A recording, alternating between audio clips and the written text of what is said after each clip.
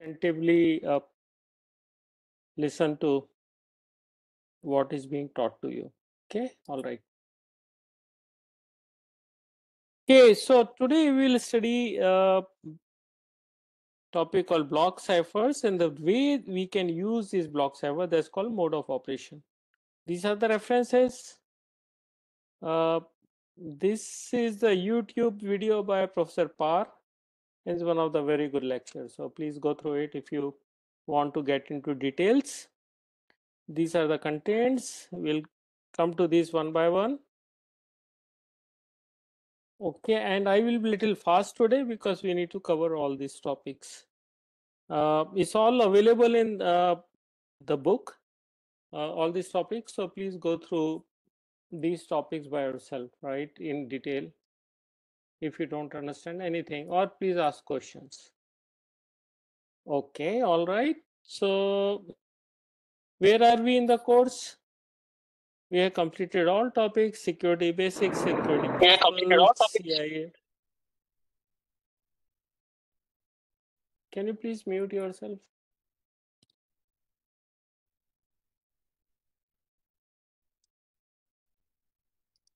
Okay.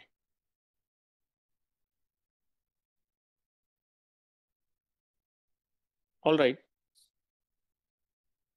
Okay, and then we have looked at access control mechanisms, password, etc. And then we started cryptography. And here we are. Okay, we have completed one-time pad, block cipher, DES, AES, which we did in last class. So we are here in the block cipher. Okay, we are in basically we are in the cryptography. Then there are two types of ciphers: symmetric cipher and asymmetric cipher, or symmetric encryption and asymmetric encryption. Okay, uh, and then in symmetric encryption we are into block ciphers, and we'll touch upon stream ciphers later. Okay, all right. This is another view of the same thing. So today we'll study block ciphers.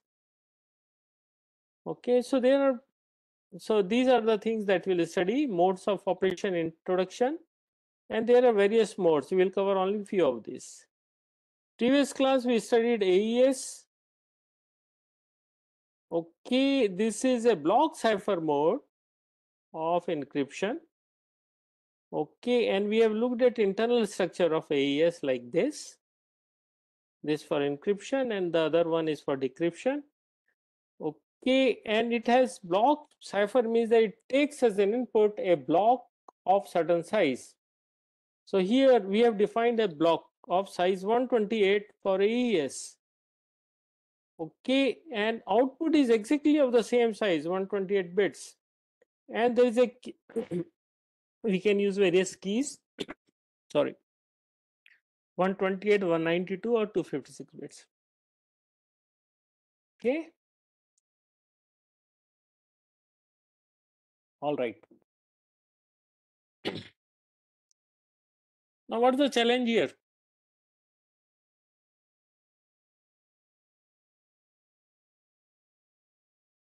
Note that this is all deterministic, right?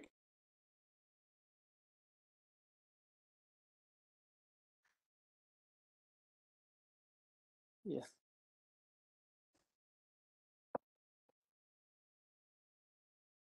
All right. So when you say deterministic, what do you mean by that?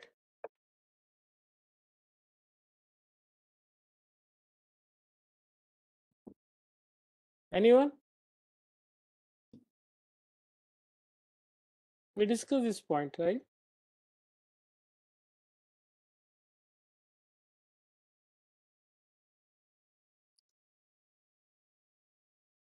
What do you mean by deterministic? It is not IND CPA secure. Yeah, that is good, very good, but that's I uh, that's fine. But determinism is what? Given one input, say you give input A, B, C, D, something which is 128 bits, and it encrypted into X, Y, Z, whatever, uh, 128 bits. Given and this uses encryption AES, for example, and 128 bit key, which is constant, which is same. You do it second time, it exactly results into same thing. third time exactly results into same thing, right? So there's a so it means that this AES block algorithm is deterministic that if it's non-deterministic, you cannot decrypt it. Okay, now at a block level, it has to be deterministic. Okay, all right. So that's the and determinism. We have seen that leaks some information. If you repeat this block multiple times, of you have you have an image that is of course 128 bit is very small. This image uh, you you know the, the in image in general you see the data changes very slowly. Okay? Already you must have seen mpeg or jpeg etc etc when compress is very small because you know the changes is not many right? So now if you use the same determinism to encode every 128 bit block in the image then you we are leaking some information all right Okay, all right. So now we will say, how do we combine these individual blocks to in in intelligent ways such that there is little bit of randomness and also we can take message which is larger than block size or 128 bits, right? So then we call this a mode of operation. So the first sentence that we just we don't just run the block cipher of its own. The most of the algorithm that you see, even you uh, go to SSL uh, library and try to see what is uh, uh AES algorithm, it will say it will not use just 128 bits because your message, your email, for example, you're sending, you cannot say that my message has got to be only 128 bits, right? It obviously can be longer or smaller. Mostly it's longer. Okay? So now if we have more than 128 bits then how do we use these blocks? Okay? All right so combining so he so basically it means that combining block ciphers as a core of larger function is ways of connecting block ciphers to encrypt larger than the block size and to introduce some randomness and we have seen that AES by itself is not practical IND CPA secure. All right. Okay. So if we send the same message twice, the ciphertext in two transmission will be the same as AES because they're deterministic, right? So take 128 bits of image, second 128 bit of image. Okay, both will result into similar output and that is actually leaking information. How does it leak? Let's look at the simple example, right? Now this is the image. This shows the company's uh, business projection. Okay, is uncompressed bitmap file. This is a bitmap file, right? You you understand concept of file and bitmap. Okay, and you you know in a file in general uh, you when you study file data structure you'll see that the top of this is something about file metadata and then this is the data right so just don't so what do you look at this part only okay and encrypt this using aes block simple block block by block you encrypt it and what you get is that this image. Is it leaking some info? Yes, it is leaking information, right? You can still see what company's projection, right? Okay. So now to handle this, we have mode of operations. Okay.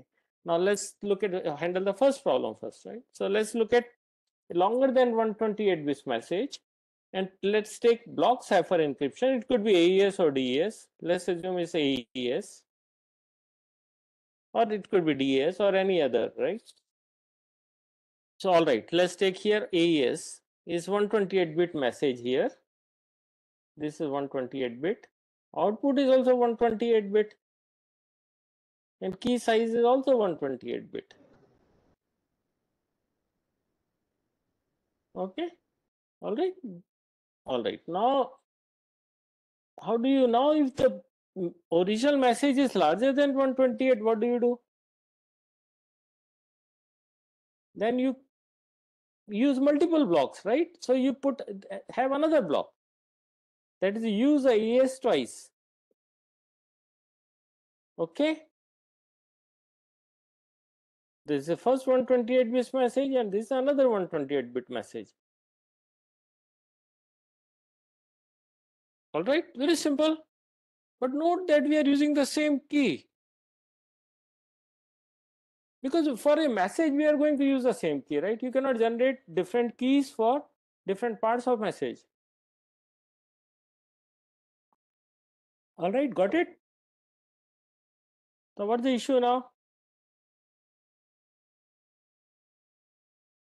Issue is that as we have seen earlier, it may leak some information. Now we'll have to see that how do we interconnect these blocks. Okay, so now we'll look at how do we interconnect these blocks. One way is that simply take this text, input text. So this one concatenated with the second one is input text split into two and then generate ciphertext and combine these two or co concatenate these two. Okay but we have seen this can this will leak information okay? So now we'll have to come out with different ways of interconnecting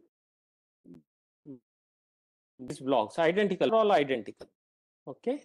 And that's what we call the mode operation how do we intelligently we can do this? So there are various ways of doing it like ecb electronic code book cipher block chaining which is cbc then propagating CBC, cipher feedback, output feedback, and count counter, right? So we'll not go into each one of these. If you're interested, you can uh, go through many, most of these, but we'll look at only ECB, CBC, and CTR. CBC is very popular and also is CTR.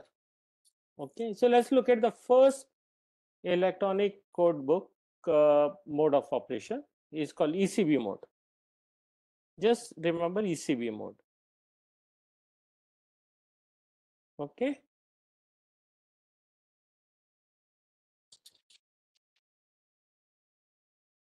All right. So this is how it is. Now let's now here let's assume that plain text is of size n bit. Instead of 128 we are not now bothered about aes or des or something else. So we'll say that block size is 120 uh, instead of 128 bits n bits. Output is also n bits. Okay. And then we are considering here m number of blocks. Small m number of blocks right? Okay.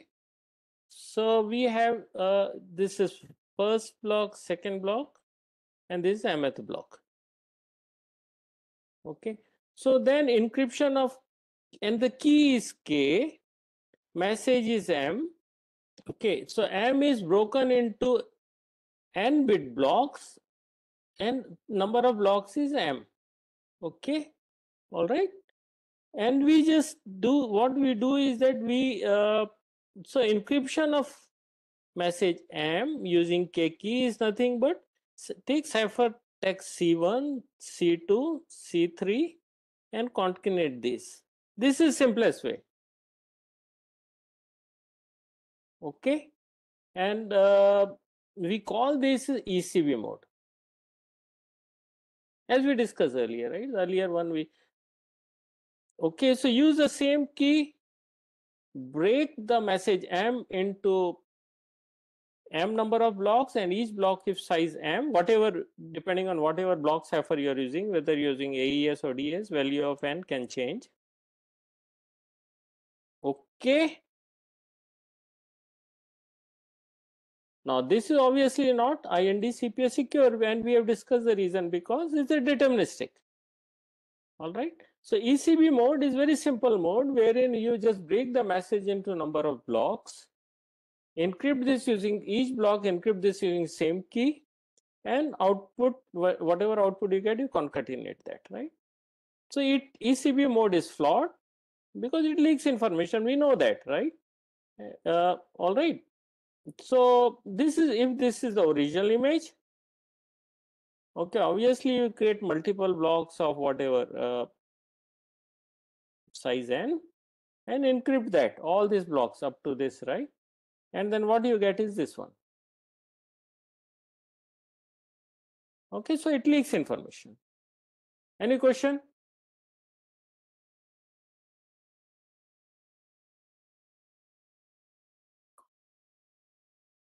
All right, so let's move ahead then. Okay. Now, I mean, see, we we will we have studied the password, right? In case of passwords, we store password in hashed form in the server, and cryptographic hashing we'll study later. But you know, uh, company like Adobe thought you know it's a good idea to encrypt the passwords and they use ECB mode, 3DES ECB mode. Uh, DES, they have used DES and ECB mode. Okay, and that has leaked a lot of information, right? So 153 million account passwords have been leaked in 2013, just 10 years back. So it's not good idea to encrypt the passwords. It's good idea to hash the password. And you'll have to think through why. Okay, note that hash function is known to everyone.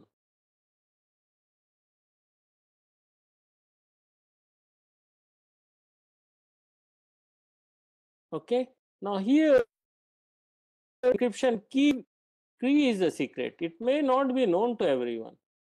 So now I may ask this question to you that why hashing is more secure than encrypting and think through that and I may ask this question in the exam. Okay, now we have seen ECB is, does not work properly because it leaks information, right?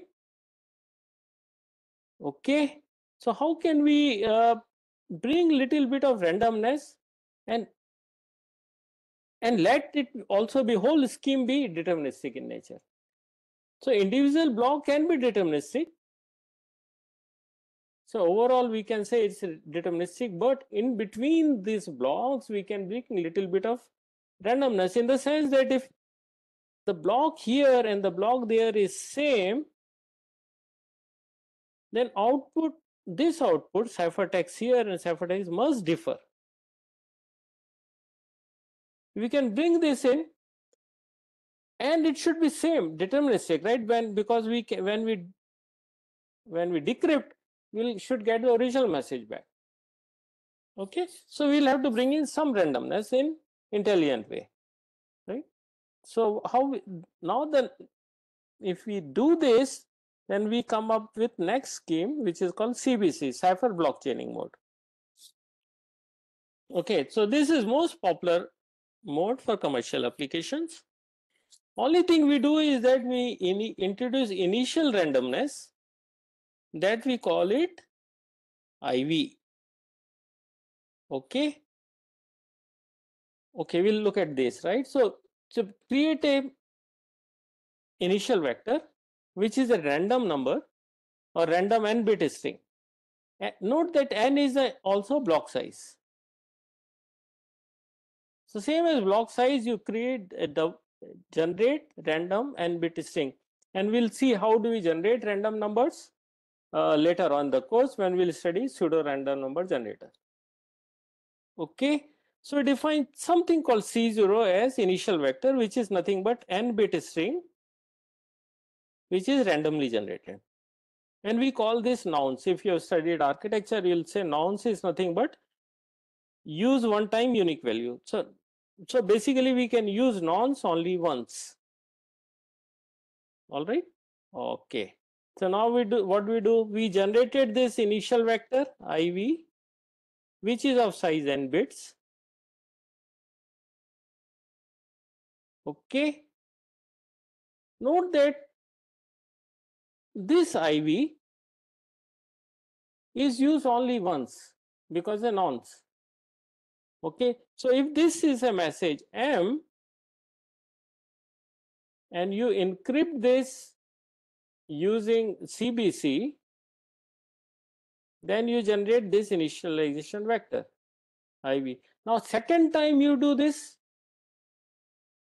oh, you have used message one encryption message and it's gone. Okay, the second time you have to encrypt the same message, then your IV will be different.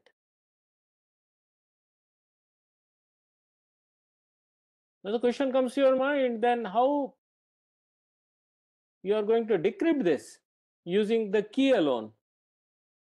Is that the question that comes to your mind?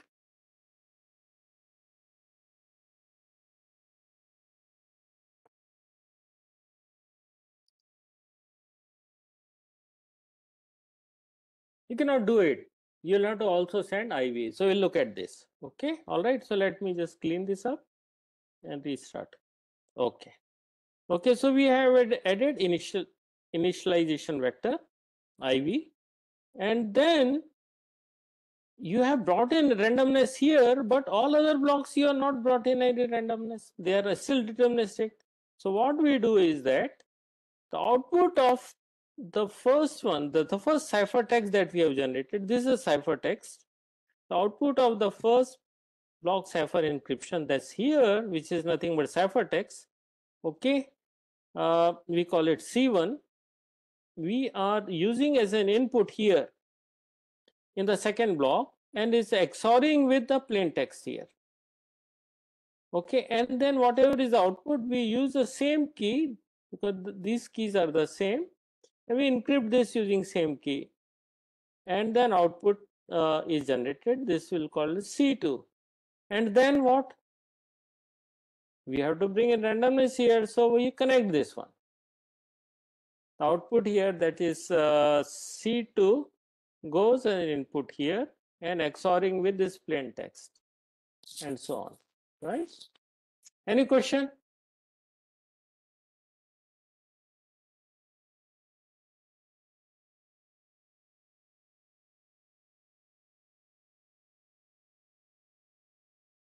Okay, all right. So now the final ciphertext is what?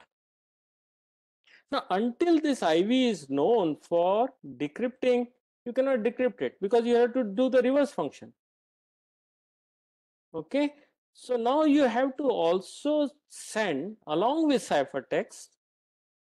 Suppose your image you have encrypted, then along with that, what IV you have used, that also you'll have to send along with C1, C2, C3. So now Eve in between can see IV.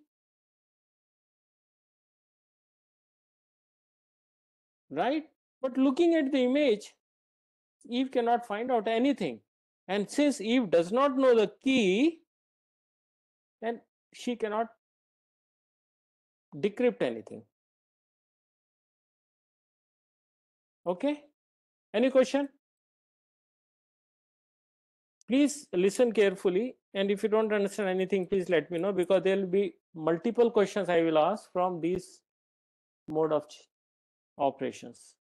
Okay? And more than that you should understand this. It's not exam is not the only thing that you need to worry about. Okay? All right.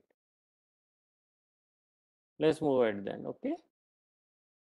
So now this is how CBC works, right? And you can go through all this by yourself. Split M into uh, plain text of P1 to PM. And these are M number of blocks. And what you get is uh, you use initialization vector in the beginning.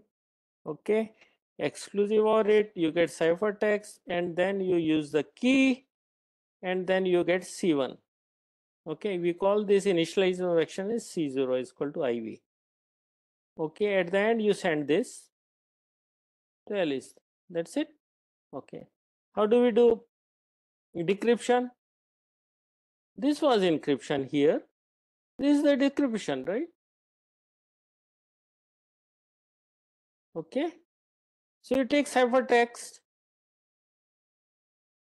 Okay use a key to decrypt it and use an whatever the output here you exclusive OR with the IV initialization vector because initialization vector is also sent to Bob or the person who is decrypting it, right? So you get plain text. Okay, and then you take this ciphertext and then exclusive or here. Take this is say p1 this is p2 this is p3 okay? And this is uh, i'm sorry this is so sorry. C1 c2 c3 what you get here is p1 p2 p3 okay? So all you do here in second one is that use this c1 and uh, uh, cipher, you know whatever the output of this block cipher you exclusive or it and you get this one. Okay? It's just reverse of this. Okay? All right? So any question hello?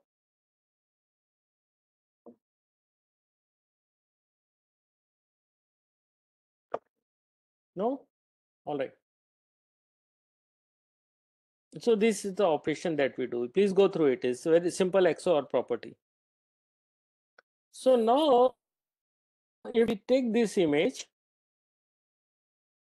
and encrypt this using we'll get the one something here can you see some something? Is it leaking some information? Yes it is leaking some information right? And you can see some something like this here. Okay. Now because similar plain text blocks produce similar text uh, ciphertext which is not good.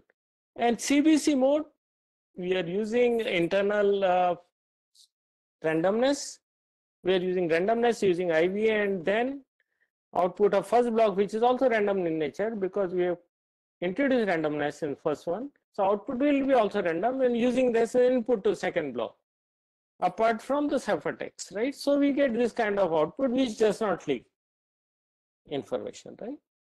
Okay. Now, do you notice something? Now, if you have to implement this, okay, this is encryption. So, do you think this can be parallelized?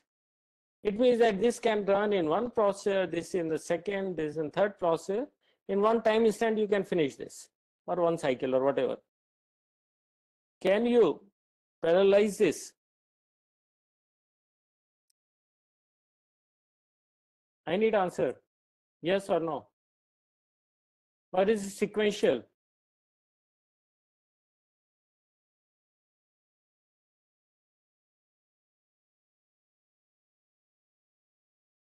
Sir, it is like more sequential, but we Yes. can break it. Uh, we can break the like we have suppose n bits, so we can break n Uh-huh. bits and then do XOR in parallel cores for each of them. No, no, no, no. I mean, look at go to AES design and you can see you can't break n bits. n bit goes a best concept of block. Blocks cannot be broken. So your first answer is correct. This is sequential in nature. Because until this encryption is complete, this output is not available, which you are using as input for the second block, right?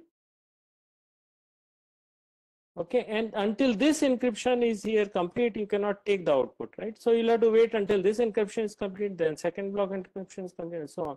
So basically, it will take longer time. Now look at this one. Decryption. Can it be? Can this be parallelized? Note that this ciphertext are all available, right? What is available to Bob? IV, then C1, C2, C3. This all available. And what is getting is P1, P2, P3. Can this be parallelized?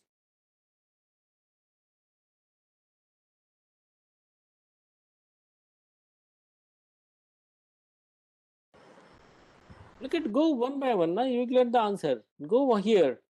At time t1, you're doing this. So what is what do you need? You need the key that's available. You need IV which is available because you got IV in the beginning. You got C1, right? So all you need is C1, IV, and the key. Key has been given by Alice to Bob, so key is available. So what do you get is this one, right? first instant time same time instant t1 what do you need for decryption? You need ciphertext which is available right in the beginning. You need key that's available in the beginning. You also need what? This one. This ciphertext is also available because right in the beginning alice has sent to bob's iv c1 c2 c3 so this also available. C2 is anyway available c1 is also available. And so on right? So it means that yes we can parallelize decryption. Okay go through this again uh, after the class and then you will understanding. All right? So there's a advantage is that decryption can be parallelized but disadvantage is that encryption cannot be parallelized if it's a very long message then you have to do it sequentially. It may take time. Okay. Now we didn't answer this question. If we have always assumed that message m will be a kind of m into n. Okay n is a block size. 128 bits for example. M is number of blocks so it has a multiple of the block size. Right what happens? You cannot say i am going to write email which is multiple of 128 bits. It's impractical right? So message can be longer than 128 bits or longer than multiple of 128 bits then we have a scheme called padding. It means that you'll have to make it multiple of 128 bits and then take and do it intelligently so that we can recover our message back. Okay all right. So now what we do is uh, we do padding. Okay? We do we pad the message until it's a multiple of the block size. Okay you when you study computer networks you will also study concepts of padding there as well. Okay? Ethernet can, message cannot be smaller than certain size. Then we'll have to pad it. Okay so padding is nothing but adding dummy bytes at the end of message until it is of proper length which is multiple of block size. All right? And then at when this message is received then we'll have to remove the padding. Clear? So that we get the original message. So way of doing padding is that we cannot pad it with zeros and ones because you will not never know you know where the message is ending okay. Then we have to devise some method. For example this is a message which is uh, 13 bytes long. Each is using one byte. You know like zero is coded with one byte and so on so forth. Note that these are not these are not uh, uh, binary number. These are hexadecimal number. Or maybe using 8 bits.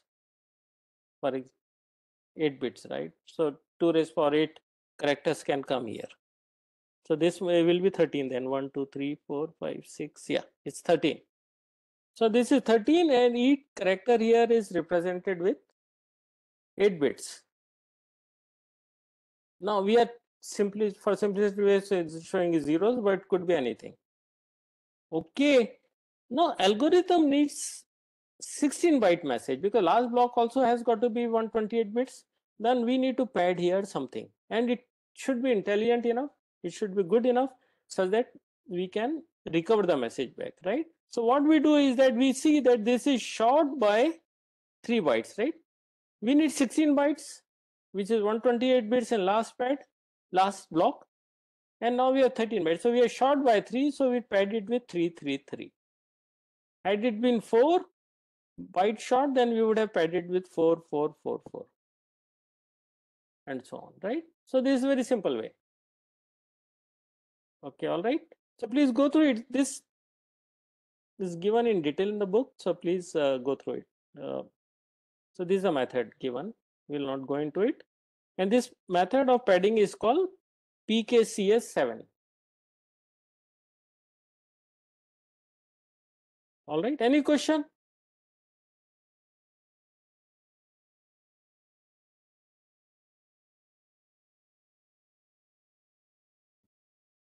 Shall we recap what we have done?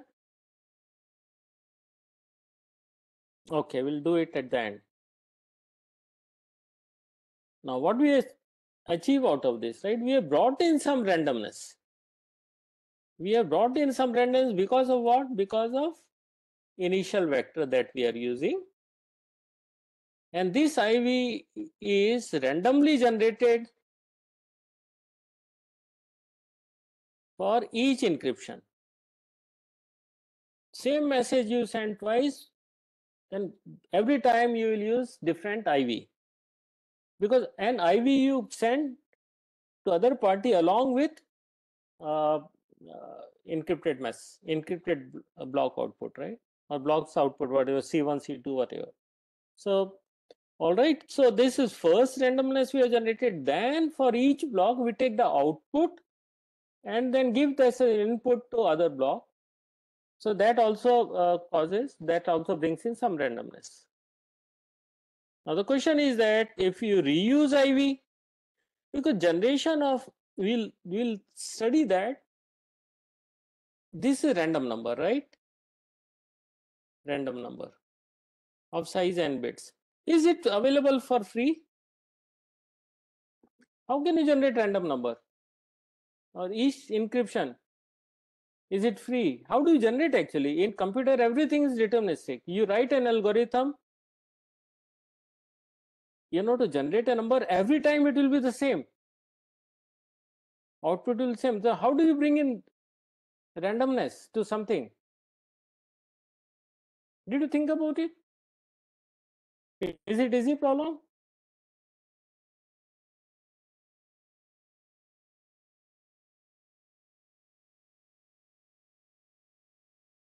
Okay, so generation of IV or random number is not easy and we'll study how we can generate pseudo random number which are actually not 100% random but it behaves like a random number.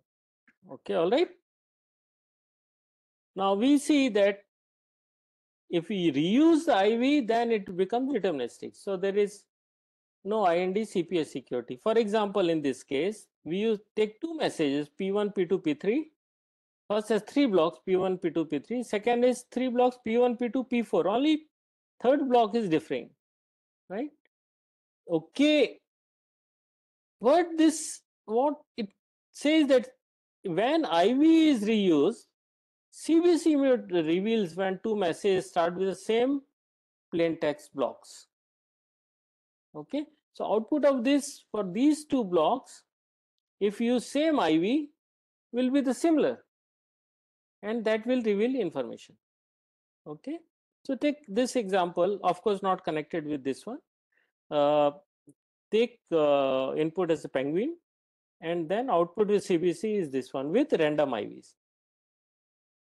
Of course, for this one, when you are encrypting for the first time, use one IV, some n bits, whatever. Okay. Second time you're doing, then this IV will change. All right, there's a message. Okay, all right.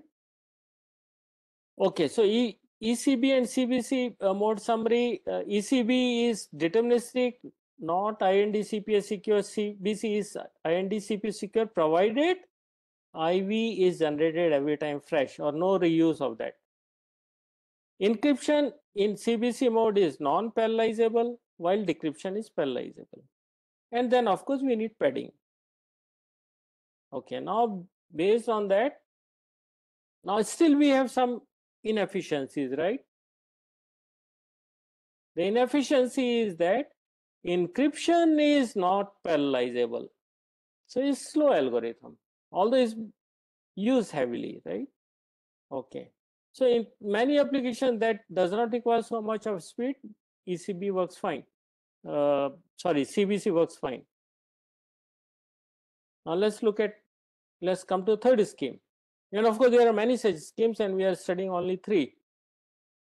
Now we have studied one time pad. They are secure because they don't reuse the key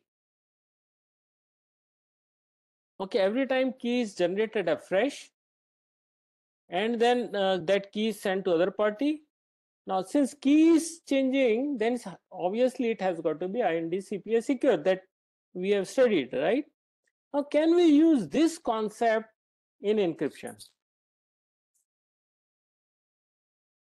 Okay, but note that if you reuse, if you generate key for every block, new key, it's a pain. Okay, first thing is that you have to generate it. You have to generate it. There's a cost of generation, and then you'll have to send it for every block. And message is say very long, then it's not really realistic scheme, right? So we have seen, but we'll have to use now intelligently this concept of OTP. All right. Now this attack, okay. Okay, this input, this output block, and this is the key. And the key is generated every time afresh. So output will look random, right?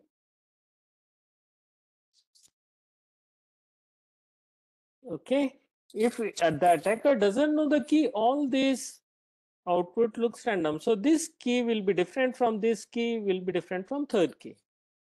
Okay, all right. Okay. Now idea is that use this random looking output as one time pad.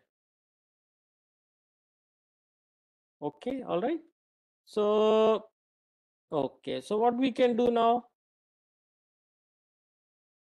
You take this something, okay, which is random, and then encrypt this using key, and then XOR with the plain text. So it, okay, so these are all random ones, right? So basically what I will repeat, take this something random looking thing. Okay. Now note that the condition is that we want to keep the same key. You know, for the whole message M, the key has to be the same. Yet we want to use OTP concept. Okay, then we say, all right, let's try this way that we'll generate something which looks random, which is random. Okay, and then use this for encryption. This is input. And use a key, whatever common key we have for message or different blocks, use this for encryption and output this with a plain text. And we get ciphertext here. Now the question is, what is this then? Okay, so now we say that here we use nonce generate one random number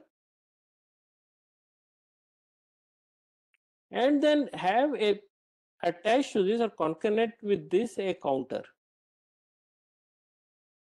Okay? Now how to bring then randomness here? Now for every block you cannot have nonce because nonce also have to be communicated to other end for decryption. So what we use do is that we use the same nonce but change the counter value here. Instead of 0, 0, we'll have 0, 1 and so on. Use the same nonce but counter value changes. Okay, use this input which is nonce and counter value because this gives randomness and this becomes input for this block encryption. Note that this is not input for overall encryption, right? This only for because just to bring randomness, use this input and whatever be the output using the key, assuming we are using AES for example here, then this is the actual input, your plain text. Okay, for AES, for look at this way, this overall scheme, then this input is plain text, which is divided into eh, number of blocks. Okay? And this output. Okay? The input is the key and also nonce. Okay so this is the big picture. So now this plain text is nothing but something that's here. This is actual input. This is the input here to the block. Block cipher is just to create randomness. You understand it? Any question?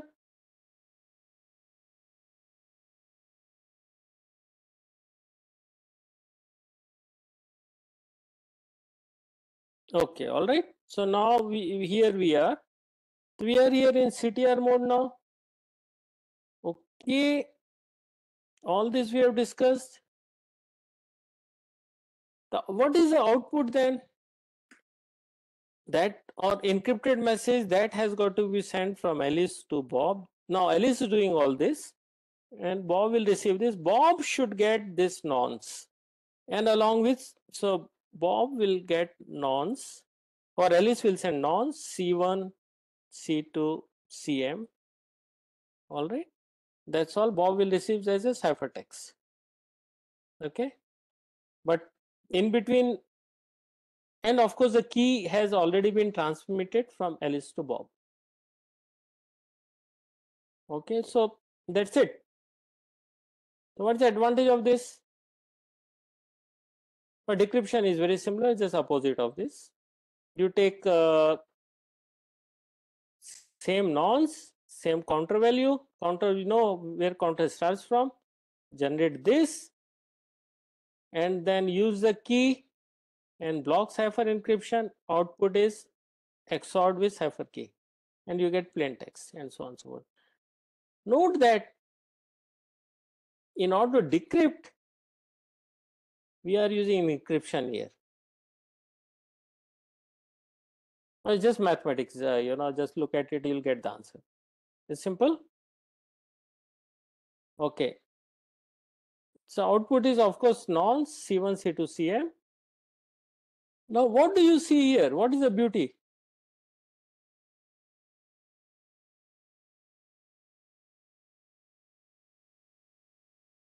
Encryption. Let's look at the encryption. We'll just spend some time and then close. This encryption. Can we parallelize it? Okay, in order to parallelize this block, for example, first this is at time t0. Nonce is known, is, is available to Bob. Counter value is known to Bob. Key is known to Bob. Okay. I am so sorry. To Alice. I am so sorry. So we are encrypting. Nonce, anyway, Bob, uh, Alice has generated. Counter is known. Key is known. Alice has generated the key and the plain text is known. So you- this can be done in T0. How about same time instant can we do this? Second block, nonce is known, counter value is known because just increment it by one. Key is known, plain text is known, so you can do this, right? Now randomness is coming here because generation of nonce and the changing counter value. We are not using feedback loop here between one block to another is automatically coming because of this. All right. So this can be parallelized. Okay. All right. Now look at decryption. Can decryption be parallelized?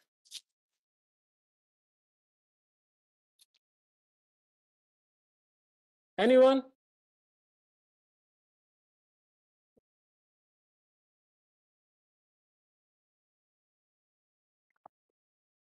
Okay, this is at Bob's end, right?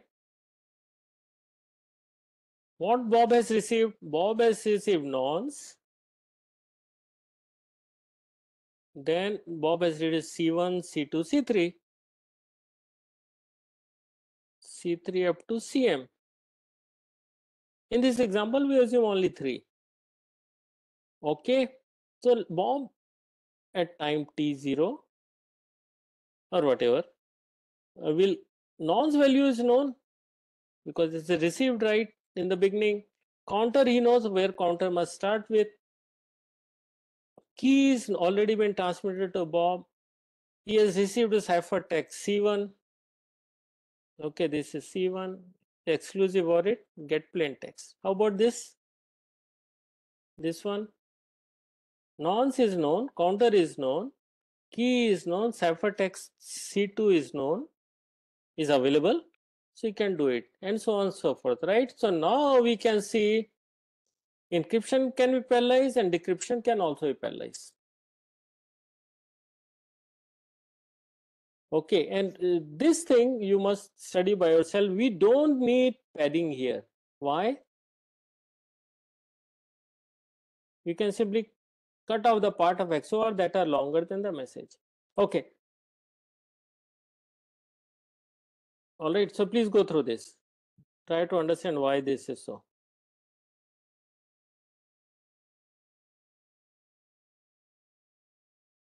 All right, so we'll have to close it. So now CTR mode, security and uses. CTR is IND secure, provided we don't use nonce more than once. And nonce must be randomly generated and never reused. If we reuse the nonce, then we leak the information. Okay. So now we have seen that it can be parallelized, right? Both uh, encryption and decryption. And now we see that we have a key stream in CTR mode that can be calculated in parallel during encryption. Okay. All right. So CTR mode is used in secure real-time transport protocol or SRTP.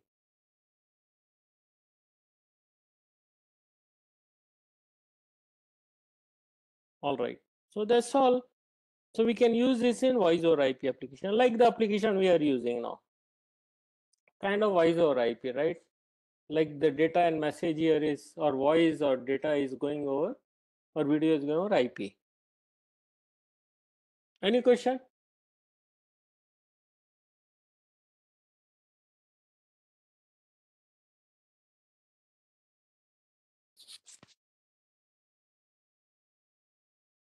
Okay.